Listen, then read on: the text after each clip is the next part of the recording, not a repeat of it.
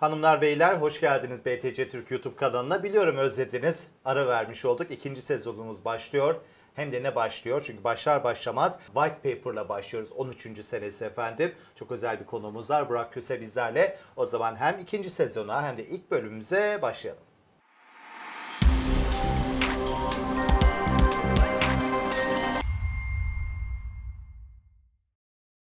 Tam 13 sene öncesine dönmüş oluyoruz. 13 sene öncesinde Satoshi Nakamoto 31 Ekim tarihinde bir mail atmış oldu 2008 tarihinde. O mailde aslında bir kriptografi yazışma grubu isimli bir posta grubu vardı. Eşler arası elektronik nakit sistemi deniliyor. Özetle burada bir teknik doküman paylaşıldı ve Bitcoin aslında doğmaya başladı bu teknik dokümanla birlikte ve tüm dünya bu kripto parayı konuşmaya başladı. Kripto paraları konuşmaya başladı. Kurumları sorguladı, parayı sorguladı. Bir taraftan enflasyon var, bir taraftan pandemi hayatımıza girdi ve Bitcoin hayatımızın artık bir vazgeçilmez dijital değeri oldu. Dijital varlığı oldu diyelim efendim. Bu anlamda tabii 2008'den bugüne e, çok önemli yayıncılıklarıyla birlikte çok önemli katkı sağlayan bu alana e, çok sevgili dostum Burak Köse bizlerle birlikte uzman coin'i kurdu o da. Kurucu ortağı olarak sevgili eşi Ceylan'la birlikte ona da sevgilerimizi gönderelim. Burak hoş geldin. Hoş bulduk. Yeni yayın dönemin hayırlı olsun bu arada. Çok çok teşekkür ederiz. Şimdi tabii bir şey kutlanmak isterse bakıldığında en iyi kutlanacak etkinliklerden biri White Paper'ın yıl dönümü olması gerekiyor. Bütün kurumları, FED'i, Türkiye Cumhuriyet Merkez Bankası'nı, Hazine Bakanlıklarını, parayı, senin parayla olan ilişkini, benim parayla olan ilişkini her şeyi değiştiren bir teknik dokümanla başladık. O maili okudun mu? Maildeki dokümanı okudun mu diyelim sana. Okudum. Zaten 9 sayfalık kısa bir doküman ve aslında çok da teknik değil yani. Sayfalar ilerledikçe biraz tekniğe kaçabiliyor ama başlangıçta zaten bir özet bölümü var. İşte Bitcoin'in burada e, neyi amaçladığını, işte dünyanın nasıl bir ödeme sistemine ihtiyacının olduğuna dair birkaç bir şey anlatılıyor ve ondan sonra zaten 9 sayfalık kısa bir doküman ve gayet de anlaşılır bence. Hı hı. E, tabii 2008'de ilginç bir yıl bu arada. Küresel ekonomik kriz patlak verdi o yıl. Ama 2008'e gelmeden önce de aslında Bitcoin'in biraz e, temellerinden bahsetmek isterim. Aslında çok daha öncesine e, taşıyacağım şimdi. Yani bu mailden öncesi evet. var değil mi? Birikmiş bir know-how, bir, bir yazılım dili, bir kurgu var. Bu sadece aslında sembol oldu, milat oldu olmuş aslında. Tabii kesinlikle öyle. Hatta şimdi belki şaşıracaksın. Ben bunu 100 yıl ötesine de taşıyabilirim. 1920'de mesela 21'de Henry Ford'un bir e, para sistemi hayali var ve bu da enerjiye dayalı bir para Hı-hı. sistemi. Bu enerjiye dayalı para sistemiyle işte dünyada savaşlara son vermeyi amaçlıyor. Çünkü e, Birinci Dünya Savaşı'ndan çıkmış yeni bir, bir dünya var ortada. E, çok büyük yıkımlar olmuş durumda. Bitcoin'e de bakıyoruz. Zaten işte madencilik dediğimiz bir sistem var ve bu sistem tamamen işte elektrikle çalışan, enerjiyle çalışan bir sistem. Ve aslında baktığımızda Bitcoin'in de enerjiye dayalı bir para olduğunu söyleyebiliriz buradan. Gayet de söyleyebiliriz. Yani bu aslında 100 yıllık bir hayal bile diyebiliriz bunun evet. için. 90'lara... Yani altın nasıl doğada bulunuyorsa, madencilikte de mi çıkarılıyorsa da Bitcoin'in de burada çıkarılma dayanağı enerji aslında evet, Evet, tabii. 90'lara geliyoruz mesela. Hı-hı. 90'larda bu konuda önemli çalışmalar var. İşte 92'de e, Cyberpunks grubu ortaya çıkıyor. Bu grup başta 3 kişiyle başlıyorlar. Ve bunların amacı da şu, dünya o dönem tabii küresel olarak e, hızlı bir şekilde internet yayıldığı için bir yandan da şöyle bir endişe var. Parasal sistem işte bu tekel altına girecek. İnsanların gizliliğine dair endişeler var mesela internetin hızlı gelişimi Tabii. sürecinde. Tabii bu grubun, bahsettiğim grubun bir de anarşist tarafı da yok değil. O da var. Bu grupta 93'te bunlar e, işte e, Cyberpunks manifestosu yayınlıyorlar. Bu grubun içinde yer alanlardan kripto para çalışmaları yapanlar var ileride. 97'de mesela Hashcash görüyoruz. Adam Beck'in kurucusu olduğu. Hı hı. Bu Hashcash de bir yandan aslında Bitcoin'in madenciliği Hashcash'e dayalıdır yani algoritması. 98'de e, bir Money Way Die yine o e, gruptan o gelen bir isim, bir başka isim. O da yine e, bir Money diye bir başka para ortaya koyuyor. Ve aslında White Paper'dan bahsediyoruz. White Paper'da hem burada Adam Beck'e hem de Wei Dai'ye atıflar var. Bir Money'den bahsediliyor, Hashcash'ten bahsediliyor. Bu açıdan önemli. O zaman Satoshi Nakamoto tabii bir rumuz. Bu kripto Rafi yazışma grubuna bu e-postayı atıyor ama bir ödeme sistemi yani geleneksel finans sistemine çok büyük bir alternatif olacak bir Bitcoin ödeme sisteminden bahsediyor. O zaman bu rumuz sadece bir kişi olmayabilir. Birçok evet. kişinin katkılarıyla hazırlanmış bir dünyadan bahsediyoruz diyebilir miyiz Burak? Kimliği bilmediğimiz için bu konuda net bir şey söyleyemeyiz. Bu bahsettiğin e, posta listesi, mail listesi de zaten bu cyberpunkslardan oluşan bir liste. Yani o yıllardan gelen, o yıllarda başlıyorlar işte e, posta üzerinden posta listeleri oluşturmaya. İlk yıllarda işte bu 200 kişiye çıkıyor daha sonra tüm dünyaya yayıl- yayılıyor. Ya herkes yok bu değil mi? Mail grubu var Evet. gibi düşünüyoruz. Bir, birileri bir şey atıyor. Ee, ve o attığı kişiler 200 kişi sonra 400 500 Tabii kişi falan diye artan, artıyor? artan bir sayı var. Binlerce sayıya ulaşıyor. Zaten Bitcoin'in white paper'ı da ilk kez bu posta listesinde yayınlanıyor. Şimdi tabii Satoshi Nakamoto'nun kimliğini bilmiyoruz. B-Money'den bahsettik. İşte ondan sonra 2000'lerin başına geldiğimizde BitGold diye bir çalışma var. O da Nick Szabo'nun yarattığı bir başka para. Nick Szabo da şöyle bilinir aslında bu kripto dünyasında akıllı sözleşmeleri e, ortaya çıkaran kişidir. Bir yandan akıllı sözleşmeleri biz Ethereum'dan biliyoruz O- zaten. evet. Ama baktığımızda şimdi bir money dedik, işte Bitgold dedik, Hashcash dedik. Bunların hepsi şu anda hayatımızda yok ve başarısız olmuş durumdalar. Bunun birinci sebeplerinden biri belki de bu kişilerin kimliğinin biliniyor olmasıydı. Çünkü bir kişinin siz kimliğini bildiğinizde onu işte bir şekilde projeyi engellemek istiyorsanız, paranın önünü engellemek istiyorsanız yani o kişinin kimliğini bilmeniz bunu daha da kolaylaştırır. Bir de geleneksel finans sistemine alternatif bir ödeme yöntemi çıkış noktan olduğu zaman herhalde Tabii. kimliğini hiç belli etmemen gerekiyor. Kesinlikle. Değil Yani mi? burada aslında- izini belli etmeyeceksin Bu- orada. Burada aslında evet yani küresel düzene bir meydan okuma var baktığımızda. Yani o nedenle burada kimliğinin gizli tutulması Satoshi Nakamoto'nun yani Bitcoin'in başarılı olmasında önemli bir etken bence. Düşünsenize tüm dünyayı şu anda 2008'den bugüne içine alan her yıl milyonlarca yeni yatırımcıya kavuşan işte New York borsasında ETF'i için balkonda gong töreni yapılıp alkışlar sunulan zaman zaman yasaklanmaya çalışılan ama Merkez Bankası rezervi olacak mı diye de çok önemli tartıştığımız bir eee, üründen bahsediyoruz. Tabii bunun değişik de bir bünyesi de var, ruhu da var. Yani Bitcoin'in bir felsefesi de var. Şimdi merkezi dünyaya bir alternatif olması Evet. anlamında. Geçenlerde New York'ta e, gong töreni yapıldı biliyorsun e, ProShares aracılığıyla ve o anlamda yapılan gong töreni nasıl buldun? Bakıldığı zaman böyle bir merkezi dünyanın içerisinde takım elbiseli Wall Street grubundan insanların alkışlaması, gong çalması yani Satoshi'nin 2008'deki bıraktığı felsefenin de, dejenere olması diyebilir miyiz? Ne dersin? Ya da Ben- sen burayı böyle mi okuyorsun? Benim Ee, Ben ona okuyorsun? çok katılmıyorum aslında. Bitcoin'in bu birkaç yıldır devam eden bir kurumsallaşma, kurumsal dünyaya e, girme süreci var. Ama bunu ben aslında şöyle okuyorum. Bitcoin'in kurumsal dünyaya adapte olması değil de kurumsal dünyanın Bitcoin'e adapte olması şeklinde. Hmm. Yani bugüne kadar gerçekten e, Bitcoin'e ilk birkaç yıldan sonra özellikle kurumsal dünyadan işte köklü bankacılık kuruluşlarından aslında tırnak içinde saldırılar oldu diyebiliriz. Çünkü neden? Burada bankalar müşterilerinin hesaplarını kapattılar. Bitcoin işlemleri yapmalarını engellediler. İşte kredi kartlarını kapattılar. Banka yöneticileri işte Bitcoin'e karşı açıklamalarıyla manşetlere taşındılar. İlk başta korkuttular aslında. Tabii. Tabii aslında bence yani Yıldırmaya biraz çalıştılar. biraz burada hani komplo teorisi yapacak olursak Bitcoin'i engellemeye çalıştılar. Kesinlikle. Önüne tıkamaya O çalıştılar. çok açık ama zaten. Evet. Ee, en meşhur da şeydir zaten JP Morgan'ın CEO'su Jamie Dimon'ın açıklamasıdır. İşte e, burada bilmeyenler için de söyleyeyim. Bitcoin'i bir dolandırıcılık olarak nitelemişti 2017 yılında ve Bitcoin ile işlem yapan herhangi bir çalışanını gördüğünde onu işten kovacağını söylemişti ve aynı JP Morgan şimdi müşterileri için aracılık işlemi yapıyor Kripto desk kurdu değil mi? Evet. Ee, Bir masası var kripto paralarla ilgili. Çok aşık bir şekilde e, geleneksel piyasalarda bir endişe var. Bunu görüyoruz. Çünkü bugün işte ETF ile ilgili evet yani kesinlikle kripto paralarla geleneksel piyasalar birbirine yakınlaşıyor. Anlamaya çalışıyorlar. Güzel bir şey. Ama bir taraftan da geleneksel piyasalarda kripto paraların getirmiş olduğu o devrimin gerisinde kalmama endişesi var. Bu dijital varlıklardan da örnek verebiliriz. Türk lirası dijital lira olarak çıkarılacak. Merkez Bankası belki bunu neden çıkarıyor? Bitcoin'e çok fazla al sat yapmayın. Paramız işte kripto paralara gitmesin. Dijital varlıkları kullanarak kripto paraların kullanımını belki azaltmaya çalışıyor. Bugün dijital, e, Nijerya Naira'yı çıkarmış oldu.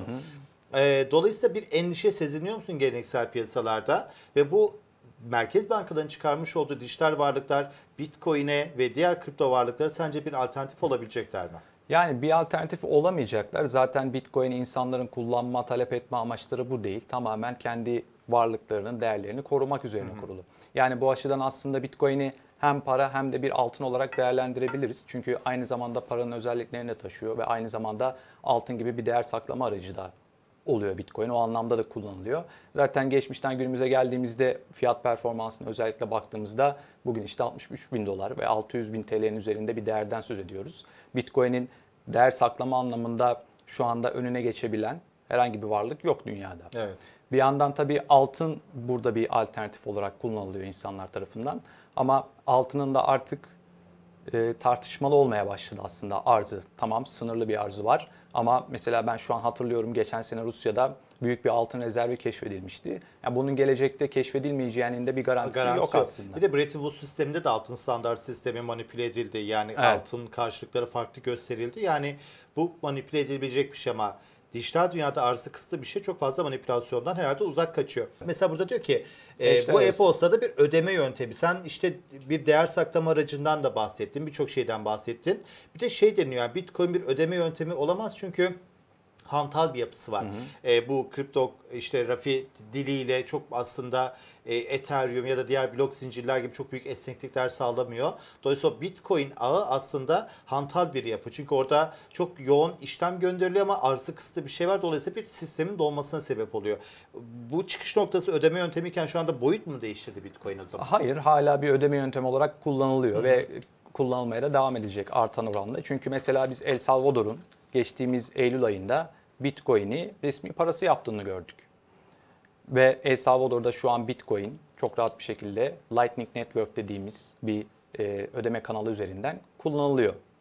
İnsanlar orada işte Bitcoin'le alışveriş yapabiliyorlar. Oradan gelen görüntüleri görüyoruz. El Salvador'un e, şu an yurt dışında yaşayan ne kadar bir El Salvadorlu var bilmiyorum. Ama o da muhtemelen birkaç milyon kadar olabilir. Ve oradan ülkeye bir yıllık gelen bir havale hacmi var. Özellikle Amerika'dan. Bu 6 milyar dolar gibi bir rakam. Bugün e, Türkiye'ye baktığımızda diğer Türkiye gibi diğer ülkelere baktığımızda bu rakam küçük görünebilir ama El Salvador'un gayri safi yurt dışı hasılasının bu %20'sine tekabül ediyor. Şimdi e, bu gelen havale hacmi artık Bitcoin üzerinden bunu kullanarak gelmeye başlayacak. İnsanlar bunu kullanıyor. Çünkü neden? Yani Amerika'dan siz bir ödeme yapıyorsunuz Bitcoin üzerinden. O Lightning Network üzerinden saniyeler içinde El Salvadorlu birinin cebine gidiyor mesela Aslında istediğiniz kişinin. Senin dediğin şey yine aslında o white paper'a geldiğimiz zaman finansal özgürlüğe gidiyor. Evet. Şimdi bugün bu dünyada işte görüyoruz e, bir geçenlerde bir banka dondu. Banka donduğu için biz o paramıza aslında ulaşamadık. Belki hiç ulaşamayacaktık da. Yani hani banka güven telkin ederdi bugüne Evet. kadar. O tarafta banka bana izin verdiği ölçüde ben o paramın sahibiyim aslında ama ben buna emek verdim, alın terim var, çalıştım, ettim falan diyor. Bitcoin'de de tam tersi o bankaları ve aracıları ortadan kaldırması herhalde çok büyük kurumların da kripto paralara karşı büyük savaşlar açmasına da sebep oluyor. Çünkü çok büyük bir pazar ve Evet. bir rant dünyasından bahsediyoruz. Finansal özgürlüğü evet arttırdı. Bir taraftan da önümüzdeki dönemde gelecekte aracıları yani borsaları, bankaları, e, finansal kurumları ortadan kaldıracak diyebilir miyiz Burak? Yoksa çok mu iddialı olur benim dediğim şey? İddialı olmaz bence. Zaten yıllardır konuşulan şey bu ve başından beri aslında hedeflenen bu üçüncü taraf dediğimiz aracıyı ortadan kaldırmak. Ee, sen az önce örnek verdin işte bankalardan, işte ödeme şirketlerinden. Mesela El Salvador dedim ben. El Salvador'da bu işte Bitcoin'i resmi para yapmasından sonra Western Union'ın orada yıllık 400 milyon dolara kadar bir kayıp yaşayacağı tahmin ediliyor mesela. Yani bu bu durum ortadayken zaten bu şirketlerin Bitcoin karşısında bu kadar e, mücadele etmeleri normal karşılanabilir gayet. Ama bugüne kadar çok Bitcoin'e karşı mücadele verdiler ve artık hem bankacılık kuruluşları hem ödeme şirketleri bundan vazgeçip bir yandan insanlar da onların müşterileri de Bitcoin'i talep ediyorlar.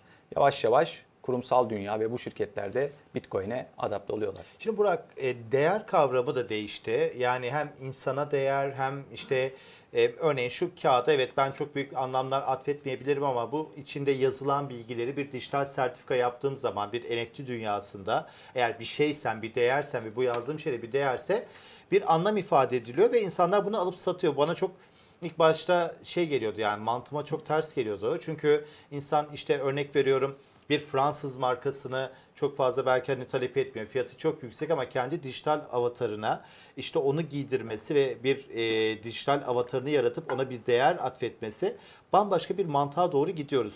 Dünyada çok değer dediğimiz şey farklı şeyler olmaya başladı. Taraftar tokenları, NFT'ler, işte kripto paralar, dijital varlıklar, hisse senetleri, altın, gümüş, paladyum bir taraftan da işte başka başka şeyler. Yani bu kadar çok değerin olduğu bir ortamda bir e, Alice Harikalar Diyarı gibi o tavşan deliğine girdikten sonra bir anda bambaşka sadece e, kripto paraların olduğu ya da dijital varlıkların olduğu bir dünyaya mı döneceğiz? Çünkü birileri belli ki yolun yola e, eşlik edemeyecek sonsuza kadar. Yani Evet. geleceği göremeyecek biz demektir. O future dediğimiz kısmına gelemeyecek. Ne dersin bununla ilgili? Yani çok değer kavramının olması seni korkutuyor mu özetle? Yani beni korkutmuyor. Bu biraz şeyle de ilgili bir şey aslında. Jenerasyonla ilgili de bir şey belki. Ben biraz bu dünyaya doğmuş bir insanım ve benim hayatımın böyle dünyanın farkında olduğum Sen dönemleri 2000 sonrası mı doğdun? yok o kadar eski Ha, o kadar değil. Yok. Yok. Z kuşağı mı? Aman Hayır yok Allah. Y kuşağıyım ama sonuç Tamam. olarak bu e, teknolojinin içine doğdum Evet, diyebilirim. ya yani. ben İşte 85'li olunca ben çok old school kaçıyorum bazen Evet. ama işte sağ olsun lise gençleri işte hiç sohbetlerinden eksik etmiyorlar beni. Hep dinliyorum ne yapıyorum, ne dinliyorlar, ne alıyorlar, ne satıyorlar. Ee, onlar yani varlık kavramına ve bu dünyaya ait, e, ait olma noktasında çok başka düşünüyorlar. Evet. Çünkü hiçbir zaman biz gelirimizle, gerçek maaşımızla ya da emekli maaşımızla ev araba alabilecek bir nesil değiliz artık. Bunu yediler, yediler, yediler bizden önceki jenerasyonlar diyelim bize maalesef bu doymuş borsalar, doymuş sistem, doymuş konut fiyatları her şey en yükseği kaldı. Dolayısıyla bir dijital dönüşüm ve varlık kavramı da değişti bir dönemdeyiz. Ya o kuşakta mısın diyecektim o yüzden yani. Evet yani ben aslında bu, bu konuda endişelenmiyorum. Çok korkutmuyor beni bu dij- Ev alırım, dünyanın- araba alırım diyorsun. yani evet artık o- oraya gidiyoruz çünkü Evet. metaverse dediğimiz yeni bir kavram son dönemde çok tartışılıyor zaten. İşte o evrende eviniz olabilir, arabanız olabilir, onu satabilirsiniz vesaire. Çok O- acayip. Evet gerçekten çok acayip. Yani zaten bana sorarsan bu Bitcoin dediğimiz, kripto paralar dediğimiz bu devrim aslında biraz da geç kalmış bir devrim olabilir. Çünkü internet dediğimiz olgu bize bilgi de bir devrim yarattı. Bilgiye ulaşmamız çok kolaylaştı. Her şey daha hızlı bir şekilde e, gerçekleşmeye başladı. Bir artık bu noktadan sonra da e, bir finansta da bir devrim gerekiyordu aslında. İşte biz hala interneti kullanıyorken, teknolojiyi kullanıyorken yani madeni paralarla birbirimize para alıp vermemeliyiz bence. Artık onun da bir teknolojik altyapısı olmalı ve o da e, güvenli bir sistem olmalı. Burada teknoloji dediğimizde kolaylıkla e, şirketlerin, e, devletlerin tamamen kontrolü altında olan bir sistem olabilirdi e, bu sistem. Dijital para dediğimiz aslında bir yerde böyle bir şey. Ama burada Bitcoin ve kripto paranın zaten tamamen merkeziyetsiz olmasının temelinde bu yatıyor zaten. Gözetimsizlik, insanları e, gözetimden uzak bir şekilde e, para alıp vermesi ve bunun gizli bir şekilde yapılmasının önemi bu. E, o açıdan bu dünya açıkçası beni korkutmuyor ve e, aslında umutluyum yani gelecek Evet, adına. evet. Ben de ama işte bu dijital dünya beni bir taraftan da korkutuyor. Yani ne yalan söyleyeyim Burak. Çünkü daha öncesinde örneğin 80'lerde bu kadar çok kamera teknolojisi yok. Yani bir hatan varsa da kusurun varsa da kol kırılır yen içinde kalır misali devam ediyordu. Şimdi e, Çin'deki o işte kamera sistemlerinin çok geniş olmasıyla Evet. birlikte bunun blockchain sistemiyle entegrasyonu, her şeyin kayıtlanması, anda data akışı yani çok bilgin olduğu ortamda dezenformasyon da çok oluyor. Çünkü insanlar böyle maalesef Twitter'daki 200 karakterli şeylerle dünyayı bildiğimizi zannediyoruz ama kimden ne kadar bilgi alıyorsak o kadarlığız aslında. Çok da araştırdığımız bir dönem yok.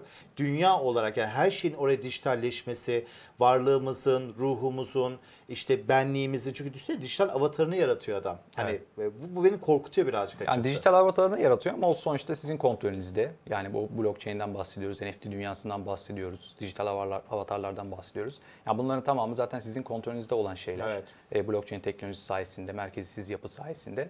Bitcoin de yine sizin kontrolünüzde. Yani sonuç olarak tehlikeli olan şu olurdu aslında. İşte bir e, dijital para sistemi tamamen devletin gözetiminde. Devlet veya işte e, bankalar bir şekilde sizin yaptığınız her işlemi izleyip bu, engelleyebiliyorlar. bu daha kötü aslında. Evet, bu, bu kötü olan bu. Bitcoin burada zaten bu kötü olabilecek gelecek düşünülerek tasarlanmış bir Evet. kripto para. Liberalizm çok tartışılıyor bu dönemde. Tabii liberalizmin getirmiş olduğu devletlerde şey de var yani yasaklama zihniyeti de çok var. Türkiye'de bunu çok yaşıyoruz. Yani serbest piyasa ekonomisinin karşısında bir şey yapılmaya çalışılıyor. Aslında kapalı ekonomi gibi davranılıyor. Bugün işte konut faizlerinin devlet tekeliyle indirilmesi aslında tam rekabet piyasasının ruhuna Aykırı. aykırı bir durum. Dolayısıyla e, ben şöyle bir dünya görüyorum Burak yani bilmiyorum yanılıyor muyum ama e, gelecek aslında böyle çok farklı gelmeyecek bize. Yani binalar böyle ultra uzamayacak, arabalarımız belki hemen bir anda yükselmeyecek, şey olmayacak. Normal hayatın içerisinde normal bir şekilde biz o Black Mirror'daki gibi yavaş yavaş geliyor. Biz şu anda geleceği yaşıyoruz kripto paralarla da. Evet, bir kısmen Bitcoin'le de evet kısmen yaşıyoruz. Ee, muhtemelen pandemi sonrası çok daha hızlanacak bu dünya. Ama sadece beni korkutan, burada bugüne kadar büyük finansal kuruluşların çok büyük rantı vardı. Devlet erk dediğimiz, egemen dediğimiz şey gücüne elinden alıyor. Bugün Facebook'un parasıyla devletin para yaratma yetkisini biz uluslararası bir şirkete vermiş olduk. O zaman devletleri ortadan hani kaldırıyor demeyelim ama devletin güvenliğini ve yetkisini sorguladığımız bir dönemdeyiz. Emniyetini, şirketler var, bankalar var, aracılar var. Yani bu kadar büyük rantın farklı bir boyuta gelmesi sanki ileride bir kaos ve bir çatışma ortamının da göstergesi gibi ne dersin? Yani buna bilmiyorum ben yine az önce söylediklerimi sağduyulu yaklaşacağım diyor Burak. yani biraz biraz aslında çok e, o tarafta değilim ben. Hmm. Yani zaten Facebook'un e, şeyinden de bahsettin. Onun da bu arada çok gerçekten e, hükümetler, devletler e, tam bir öne set çekmiş durumdalar. Evet. Hem Amerika'da hem Avrupa'da. E, yani o muhtemelen ben onun gerçekleşeceğinden çok şeydim. Böyle biraz e, bekliyordum dört gözle aslında. Ama o gerçekleşmeyebilir. Facebook'un bir dijital parası olup e, olmayabilir yani bundan sonraki süreçte. Ama olsaydı da zaten o da e, white paper'ın onun da bir white paper var Bitcoin gibi. Baktığımızda blok zinciri teknolojisine dayalı olacaktı ve orada da yine bir merkezsiz yapı güdülmüştü aslında o dijital parada. Ama şu var yani Bitcoin olduktan sonra çok da gerek yok. Facebook'un dijital parasına da gerek yok. Diğer kripto paraların birçoğuna da gerek evet, yok belki. Evet, evet. O nedenle Bitcoin'de ilerleyen süreçte e, şu anda hani sen bahsettin mesela Bitcoin'de diyorlar ki hantal bir yapın yapı, evet. yapı olduğundan söz ediyorlar. Ama bu çözülüyor. Lightning Network gibi teknolojilerle. Bugün Lightning Network'ün kapasitesi 3000 Bitcoin üzerine hmm. çıktı artık ve burada saniyeler içinde küçük ödemeler yapmak da mümkün. Bu daha da geliştiriliyor. Mesela Kasım ayında Taproot diye bir güncelleme olacak Bitcoin'de. Bu güncellemeyle beraber Bitcoin'de yine kapasite daha da artacak. E, ve şu da var yani Bitcoin'e entegre çözümler de var. Yani tüm işlemler Bitcoin üzerinde değil, kısmen Bitcoin üzerinde gerçekleşiyor ve daha sonra en son işlem Bitcoin üzerinde yapılıyor. Anladım. Bu tarz yani oraya gelene kadar ara başka şeylerle evet, değil mesela, mi? Modellerle. Yani, evet, evet mesela Mastercard'ın bununla ilgili hmm. çözümleri olacak. On birkaç gün önce duyurusunda onu evet, yaptılar. Evet. Yani ilerleyen süreçte sadece Bitcoin bize yetebilir arzı kısıtlı bir şeyden bahsediyoruz ama insan ihtiyaçları her zaman bize sınırsız öğretildi değil mi? İktisadın temel kuralı işte sınırlı kaynaklarla sınırsız taleplerimizi karşılamak gibi bir sanattan bahsediliyor ama dünyayı tükettik tabii. Bize ilk defa bir şeyin arzının kısıtlı olduğu söylendi ve merkeziyetsiz bir yapı olduğu söylendi. Arzı kısıtlı ancak insanların bu iştahının sınırsız olmasından dolayı Bitcoin manipülatif olarak sınırsız bir hale getirilebilir mi? Ya bu kripto kripto işlemlerle hmm. ya da bir şeyin karşılığında Bitcoin değil de örnek veriyorum başka bir kripto ile tutup işte onun rezervi karşılık ayırıp işte yani bir şekilde insan bunu kılıfına uydurabilir mi Burak? Yani şöyle bir şey olabilir. Şimdi Bitcoin'de arzı şu anda artıramazsınız. Hı hı. Aslında bu teoride belki buna bir şey söyleyebilirsiniz, kılıf uydurabilirsiniz ama uygulamada bu imkansız, imkansız. geldiğimiz noktada. Çünkü Bitcoin için şu anda Bitcoin'de o güvenliği sağlayan, ağın güvenliğini, güvenliğini sağlayan dünya üzerinde milyarlarca bilgisayardan söz edebiliriz. Ve bu her geçen gün artan bir oranda büyüyor. Ve sizin Bitcoin'de bir manipülatif hareket yapmanız için bu arzı artırma anlamında %50'nin üzerine çıkmanız lazım. Mesela bu milyarlarca bilgisayarı düşünün. Bunun %50'sinden fazlası sizde olacak. Bu gücü elde edeceksiniz. Hmm. O parayı harcayacaksınız ve başarılı olacaksınız. Başarılı da olamayabilirsiniz yani bunun garantisi de yok. Garantisi de yok. Aynen öyle. Garantisi de yok. E, o nedenle Bitcoin'de bu arz artırma e, konusu imkansıza yakın noktada ve imkansız da diyebiliriz. Ve 2140 yılına kadar şu anda zaten yanılmıyorsam 18 milyon küsür adet Bitcoin dolaşımda. 2140 yılına kadar 21 milyon rakamına ulaşılacak. Bu ve bitiyor değil mi? 2140'tan sonra artık Bitcoin minerlığı sona eriyor. Evet, Bitcoin çıkaramayacağız yani artık. Bitcoin madenciliği devam ediyor aslında. Yeni Bitcoin üretemeyeceğiz. Evet çıkaramayacağız. Hı-hı. Ama e, Bitcoin işlemlerinde Hı-hı. madenciler komisyon almaya devam edecek. Ama 2030 2035 yılında zaten e, 21 milyon Bitcoin'in yanılmıyorsam %99-98 gibi bir kısmı zaten üretilmiş olacak. Yani o noktadan sonra aslında çok da önemli olmayabilir. Evet. Cengiz, BTC Türk'le Bitcoin alıp satmak ne kadar kolay? Kolayca Bitcoin al sat. Kolayca Bitcoin İşte bu kadar kolay. Siz de BTC Türk uygulamasını indirip üye olun. Kolayca Bitcoin alıp satmaya başlayın. Çok teşekkür ederim. Ben teşekkür ederim Yani, davetiniz yani için. white paper'ı ve bu teknik dokümanı ve nereye gideceğini ben birazcık böyle Burak'ı e, daha böyle komplo konularına götürmüş olsam da o hiçbir zaman bilimden şaşmadı efendim. Gayet güzel bir şekilde anlattı. Uzman coin'i de yola açık olsun. Gerçekten de Teşekkür ederim. biz medyacılar için çok önemli. Çünkü haberi kripto paralara dair çok fazla takip edebildiğimiz alan yok. Ajanslar buna çok şimdi yeni yeni yönelmeye başladı ama senin ve eşin sevgili Ceylan Köse'yle sevgilerimizi iletelim. Yaptığın çalışmalar çok kıymetli. Çok Devam edin teşekkür lütfen ederim. efendim. Çok teşekkür ederim.